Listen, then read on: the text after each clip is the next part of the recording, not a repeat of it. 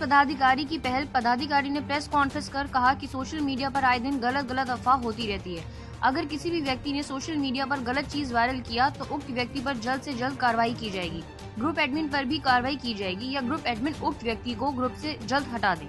पदाधिकारी ने कहा कि लोग भी ऐसे अफवाह पर ध्यान न दें। ऐसी घटना हर शहरों में भी हो रही है। इस लेकर पुलिस प्रशासन काफ़ी सक्रिय है, एवं ऐसे अफवाह फैलाने वाले पर जल्द ही कार्रवाई होगी। किसी भी तरह का आपत्तिजनक पोस्ट करता है, उसके ग्रुप एडमिन को आवश्यक रूप से आरोपी बनाया जाए। ग्रुप एडमिन ये सुनिश्चित कर लें कि कम से कम उनके जो मेंबर्स हैं, उनको उसका नियंत्रण होना चाहिए। अदरवाइज़ ऐसे मेंबर्स को इमीडिएटली बाहर कर दें। यदि कोई भी विषय ऐसा आता है तो उसमें तत्काल प्रकरण पंजीयन होगा।